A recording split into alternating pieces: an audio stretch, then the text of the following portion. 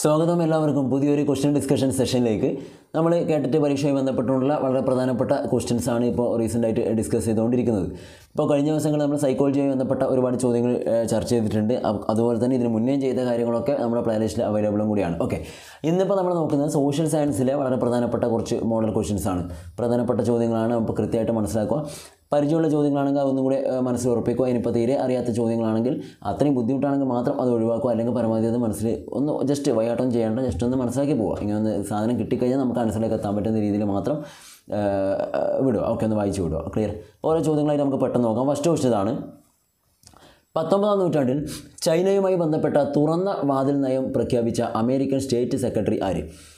പത്തൊമ്പതാം നൂറ്റാണ്ടിലെ ചൈനയുമായി ബന്ധപ്പെട്ട തുറന്ന വാതിൽ നയം പ്രഖ്യാപിച്ച അമേരിക്കൻ സ്റ്റേറ്റ് സെക്രട്ടറി ആര് എന്നാണ് മേ ബി ഇതൊക്കെ കാറ്റഗറി തേർഡിനൊക്കെ പ്രതീക്ഷിക്കാം. ഈ ഒറ്റ ചോദ്യം. എല്ലാ ടൈപ്പ് ക്വസ്റ്റ്യൻസ് ഇതിൽ വരുന്നുണ്ട്. ഓപ്ഷൻ നോക്കാം. William McKinley John Hay Theodore Roosevelt അതുപോലെ തന്നെ കോണ്ടലിന റൈസ് ഇതൊക്കെ S C R T based questions ആണ്. ഓപ്ഷൻസ് നോക്കാം. William McKinley John Hay Theodore Roosevelt അതുപോലെ തന്നെ കോണ്ടലിന റൈസ് അപ്പോൾ ഇതിൽ പത്തൊമ്പതാം നൂറ്റാണ്ടിൽ ചൈനയുമായി ബന്ധപ്പെട്ട തുറന്ന വാതിൽ നയം പ്രഖ്യാപിച്ച അമേരിക്കൻ സ്റ്റേറ്റ് സെക്രട്ടറി ആരെന്നാണ് ഓപ്ഷൻ വരുന്നത് ഓപ്ഷൻ ആൻസർ വരുന്നത് ഓപ്ഷൻ ബി ആണ് ജോൺ ഹേ ആണ്. ഓക്കെ ജോൺ ഹേ ആണ് ഈ ചൈനയുമായി ബന്ധപ്പെട്ട തുറന്ന വാതിൽ നയം പ്രഖ്യാപിച്ച അമേരിക്കൻ സ്റ്റേറ്റ് സെക്രട്ടറി എന്ന് പറയുന്നത്. ക്ലിയർലി അപ്പോൾ ഇത് നിങ്ങൾ സി ആർ ടി ബേസ്ഡ് പിന്നെ പഠിച്ചിട്ടുണ്ടോ ടെൻത്ത് സ്റ്റാൻഡേർഡിൽ ടെക്സ്റ്റ് ബുക്കിൽ നിങ്ങൾ വായിച്ചായിരിക്കും. ഒന്ന് മനസ്സിലായിരിക്കും. മേ ബി ഇതൊക്കെ വന്നേക്കാം. നമുക്ക് ഒന്നും പറയാൻ കഴിയില്ല. എങ്ങനെയാണ് വരിക ഒന്നും അറിയില്ല. അതുകൊണ്ട് അതൊക്കെ ജസ്റ്റ് ഒന്ന് മനസ്സിലാക്കി വെക്കുക. അടുത്ത ക്വസ്റ്റ്യൻ ചൈനയിൽ സന്യാസൻ നേതൃത്വം നൽകിയ പാർട്ടി ഏത്? ചൈനയിൽ സന്യാസൻ നേതൃത്വം നൽകിയ പാർട്ടി ഏത് എന്നാണ് ക്വസ്റ്റ്യൻ ഓക്കെ ഓപ്ഷൻ നോക്കാം. Communist party Bolshevik party Kuomintang party അതുപോലെ തന്നെ socialist party. Communist party Bolshevik party Kuomintang party അതുപോലെ തന്നെ സോഷ്യലിസ്റ്റ് പാർട്ടി. അപ്പോൾ ഇതിൽ സന്യാസ നേതൃത്വം നൽകിയ പാർട്ടി ഏത് എന്നാണ് ചോദ്യം വന്നിട്ടുള്ളത്. ആൻസർ ഏതാണ് വരിക? സിമ്പിളായിട്ടുള്ള ക്വസ്റ്റ്യൻസ് ആണ്. ഓപ്ഷൻ സി ആണ്. ഏത്? കുമിന്താങ് പാർട്ടിയാണ് കേട്ടോ കുമിന്താങ് പാർട്ടി എന്നതാണ് കറക്റ്റായിട്ടുള്ള ആൻസർ അടുത്ത ക്വസ്റ്റ്യൻ ചൈന റിപ്പബ്ലിക്കായ തീയതി ഏത്? ചൈന റിപ്പബ്ലിക്കായ തീയതി ഏത് എന്നാണ് ക്വസ്റ്റൻ ഓക്കെ നിങ്ങൾ ചൈനീസ് വിപ്ലവത്തിനെ കുറിച്ചൊക്കെ ടെക്സ്റ്റ് പഠിച്ചിട്ടുണ്ടാവും. ആ വിപ്ലവങ്ങളുമായി ബന്ധപ്പെട്ട ഭാഗത്താണ് ഇതിനെക്കുറിച്ചൊക്കെ ഡിസ്കസ് ചെയ്യുന്നത്. ഓക്കെ ചൈന റിപ്പബ്ലിക്കായ തീയതിയാണ് ചോദിക്കുന്നത്. ഓപ്ഷൻ നോക്കാം. ആയിരത്തി തൊള്ളായിരത്തി നാൽപ്പത്തി ഒമ്പത് ഒക്ടോബർ ഒന്ന്. ആയിരത്തി തൊള്ളായിരത്തി അമ്പത് ജനുവരി ഇരുപത്തി ആറ് ആയിരത്തി തൊള്ളായിരത്തി നാൽപ്പത്തൊമ്പത് ജനുവരി ഒന്ന് അതുപോലെ തന്നെ ആയിരത്തി തൊള്ളായിരത്തി നാൽപ്പത്തി എട്ട് ഒക്ടോബർ ഒന്ന്.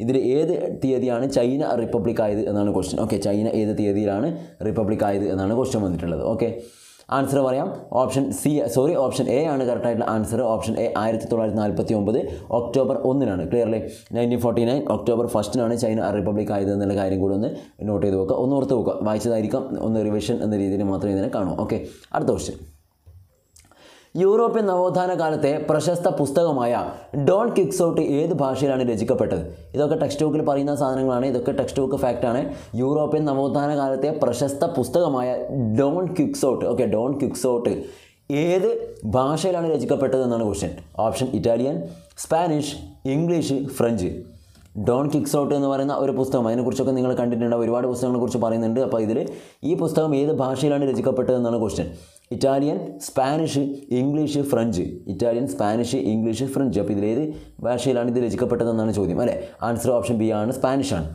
സ്പാനിഷ് ഭാഷയിൽ രചിക്കപ്പെട്ട പുസ്തകമാണ് Don Quixote okay Don Quixote എന്നുള്ളത്. കൃത്യമായിട്ട് മനസ്സിലാക്കുക. അടുത്തത്. മൊണാലിസ എന്ന ചിത്രം വരച്ചത് ആര്? മൊണാലിസ എന്ന ചിത്രം വരച്ചത് ആര് എന്നാണ് ക്വസ്റ്റ്യൻ ഓക്കെ ഓപ്ഷൻ നോക്കാം. Raphael Michelangelo Leonardo da Vinci അതുപോലെ തന്നെ ദാലി. അപ്പോൾ ഇവരിൽ ആരാണ് മൊണാലിസ എന്ന ചിത്രം വരച്ചത്? Okay Raphael Michelangelo da Vinci Dali. ആരായിരിക്കും? ജസ്റ്റ് ഒന്ന് നിങ്ങൾ ആൻസറിലേക്ക് എത്താൻ പറ്റുന്നുണ്ടോ നോക്കുക. എന്നിട്ട് മാത്രം നമ്മുടെ പിന്നെ ഓപ്ഷൻ നോക്കിയാൽ ആൻസർക്ക് നോക്കിയാൽ മതി. ഏതാണ് ആൻസർ വരിക? ഓപ്ഷൻ എ ആണോ ബി ആണോ സി ആണോ ഡി ആണോ? ആൻസർ വരുന്നത് ഓപ്ഷൻ സി ആണ്.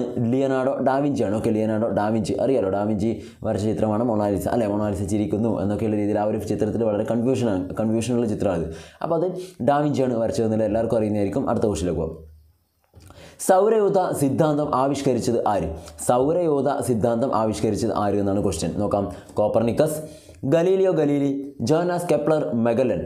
Copernicus Galileo Galilei Jonas Kepler പിന്നെയോ മെഗലൻ. ഇവരിൽ ആരാണ് സൗരയൂഥ സിദ്ധാന്തം ആവിഷ്കരിച്ചത് എന്നാണ് ചോദ്യം അല്ലേ?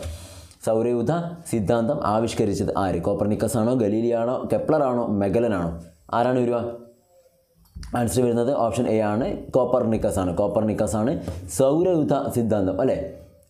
അടുത്ത് കൃത്യമായിട്ട് മനസ്സിലാക്കി വെക്കുക. അടുത്ത ചോദ്യം. കോൺസ്റ്റാന്റിനോപ്പിൾ എന്ന നഗരം ഇപ്പോൾ അറിയപ്പെടുന്നത് ഏത് പേരിലാണ്? കോൺസ്റ്റാന്റിനോപ്പിൾ എന്ന് പറയുന്ന സ്ഥലത്തെക്കുറിച്ച് അറിയാം കേട്ടിട്ടുണ്ട് ടെക്സ്റ്റിൽ വായിച്ചിട്ടുണ്ട് പഠിച്ചിട്ടുണ്ട്. ഇപ്പോൾ അത് ഏത് പേരിലാണ് അറിയപ്പെടുന്നത് എന്നാണ് ചോദ്യം. ഓക്കെ കോൺസ്റ്റാന്റിനോപ്പിൾ ഏതാണ് വരിക? പാരീസ് ആണോ? കീവ് ആണോ? അല്ല ഇൻസ്താബുൾ ആണോ? മാച്ചു പിച്ചു ആണോ? മാച്ചു പിച്ചു. ഏതാണ് വരിക? കോൺസ്റ്റാന്റിനോപ്പിൾ ഇപ്പോൾ അറിയപ്പെടുന്ന പേരാണ് ചോദിച്ചത്. ആൻസർ ഓപ്ഷൻ സി ആണ്. ഇസ്താംബൂൾ ആണ് കേട്ടോ. ഇസ്താംബൂൾ എന്നുള്ളതാണ് കറക്റ്റായിട്ടുള്ള ആൻസർ ഇസ്താംബൂൾ എന്ന പേരിലാണ് ഇപ്പോൾ നിലവിൽ ഏത് കോൺസ്റ്റാന്റിനോപ്പിൾ അറിയപ്പെടുന്നത്. അടുത്ത ചോദ്യത്തിലേക്ക് പോവുകയാണ് അടുത്ത ക്വസ്റ്റിലേക്ക് പോവാം. അയ്യങ്കാളി ജനിച്ച ദിവസം ഏത്? ഇത് മേ ബി നമ്മൾ റിനൈൻസൻസ് ഒക്കെ ആയി ബന്ധപ്പെട്ടുകൊണ്ട് വരുന്നതാണ്. ജസ്റ്റ് ഒന്ന് മനസ്സിലാക്കാൻ പറ്റുമെങ്കിൽ മാത്രം. ഇത് അതിൽ പ്രത്യേകം പറയുന്നുണ്ട്. കൃത്യമായിട്ടൊന്ന് മനസ്സിലാക്കിയാൽ നല്ലതായിരിക്കും. അയ്യങ്കാളി ജനിച്ച ദിവസം. ചോദിച്ചേക്കാം. മേ ബി ഉറപ്പൊന്നുമില്ല എന്നാലും. ആയിരത്തി എണ്ണൂറ്റി അറുപത്തി മൂന്ന് എല്ലാം ആയിരത്തി എണ്ണൂറ്റി അറുപത്തി മൂന്ന് തന്നെയാണ് കൊടുത്തിട്ടുള്ളത്. ജൂലൈ ഇരുപത്തെട്ട് സെപ്റ്റംബർ ഇരുപത്തെട്ട് ജൂൺ ഇരുപത്തെട്ട് ഓഗസ്റ്റ് ഇരുപത്തെട്ട്. ഇതിൽ ഏത് ദിവസം അല്ലെങ്കിൽ ഏത് തീയതിയാണ് ഏത് അയ്യങ്കാളി ജനിച്ചത്? എണ്ണൂറ്റി അറുപത്തി മൂന്ന് ജൂലൈ ഇരുപത്തെട്ടാണോ സെപ്റ്റംബർ ഇരുപത്തെട്ടാണോ ജൂൺ ഇരുപത്തെട്ടാണോ ഓഗസ്റ്റ് ഇരുപത്തെട്ടാണോ? ഏതാണ് വരിക? ആൻസർ ഓഗസ്റ്റ് ഇരുപത്തെട്ടാണ് കേട്ടോ. ആയിരത്തി എണ്ണൂറ്റി അറുപത്തി മൂന്ന് ഓഗസ്റ്റ് ഇരുപത്തെട്ടിനാണ് ആര് ജനിച്ചത്? അയ്യങ്കാളി ജനിച്ചത് എന്നുള്ള കാര്യം നോട്ട് ചെയ്ത് നോക്കുക അടുത്തതിലേക്ക് പോവാം. സമപന്തി ഭോജനം സംഘടിപ്പിച്ചത് ആര്? സമപന്തി ഭോജനം സംഘടിപ്പിച്ചത് ആര് എന്നാണ് ചോദ്യം. സമപന്തി ഭോജനം സംഘടിപ്പിച്ചത് ആര് എന്നാണ് ക്വസ്റ്റ്യൻ അല്ലേ? നോക്കാം. സഹോദരൻ അയ്യപ്പൻ വാഗ്ബടാനന്ദൻ വൈകുണ്ഠസ്വാമി ബ്രഹ്മാനന്ദ ശിവയോഗി. സഹോദരൻ അയ്യപ്പൻ വാഗ്ബടാനന്ദൻ വൈകുണ്ഠസ്വാമി ബ്രഹ്മാനന്ദ ശിവയോഗി. അപ്പോൾ ഇവരിൽ ആരാണ് സമപന്തി ഭോജനം സംഘടിപ്പിച്ചത് എന്നാണ് ചോദ്യം. സമപന്തി ഭോജനം സംഘടിപ്പിച്ചത് ആര്? ആരാണ് വരിക? അയ്യപ്പനാണോ വാഗ്ബടാനന്ദനാണോ വൈകുണ്ഠസ്വാമിയാണോ അല്ല ബ്രഹ്മാനന്ദ ശിവയോഗിയാണോ എന്നാണ് ചോദ്യം അല്ലേ? അപ്പോൾ സമപന്തി ഭോജനം സംഘടിപ്പിച്ചത് ആരാണെന്ന് ചോദിച്ചാൽ ആരാണ്? വൈകുണ്ഠ സ്വാമിയാണ് ഓപ്ഷൻ സി ആണ്. വൈകുണ്ഠ സ്വാമിയാണ് സമപന്തി ഭോജനം സംഘടിപ്പിച്ചത്. ഓക്കെ.